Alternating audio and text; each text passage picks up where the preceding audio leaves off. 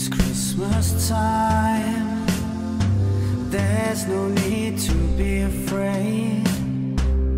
At Christmas time, we let in light and we banish shade.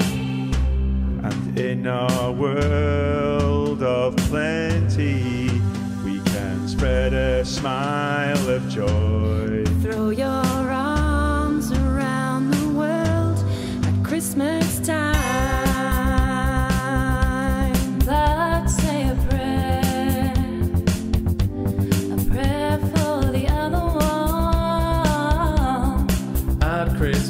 time.